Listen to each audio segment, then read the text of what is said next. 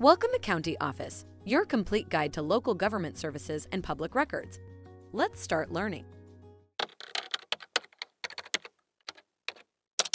Are volunteer fire departments nonprofit?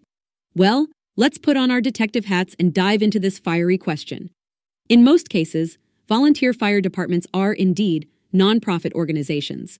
This means they are primarily funded through donations, grants, and sometimes municipal taxes. Their main goal? To serve and protect the community, not to make a profit. However, it's important to note that not all volunteer fire departments are created equal. While many are nonprofit, some may operate under a for profit model, usually if they're run by a private company. But these are more the exception than the rule. Now, you might be wondering why does it matter if they're nonprofit or not? Well, it's all about the Benjamins, my friend. As nonprofits, volunteer fire departments are exempt from federal income tax. Plus, your donations to them are tax deductible.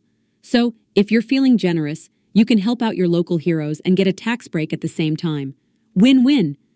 In conclusion, while there may be a few outliers, the vast majority of volunteer fire departments are nonprofit organizations. They're out there day and night, braving the flames and saving our cats from trees, all for the love of the community. Take a look at the links in the description below to learn more.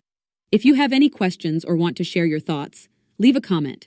We're here to help. Thanks for watching our video. Be sure to like, subscribe, and leave a comment below.